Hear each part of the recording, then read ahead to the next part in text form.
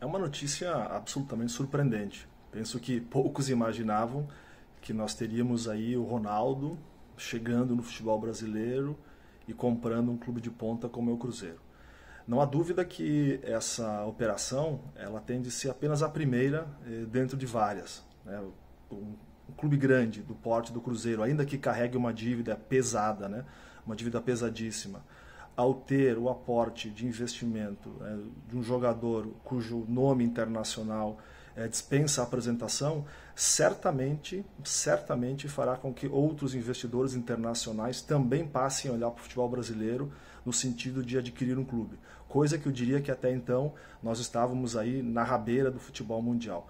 Portanto, entendo que o ano, o ano 2022 tende a ser um ano bastante eletrizante é, no tocante a aquisições de clubes de futebol no Brasil, a transformação em SAF.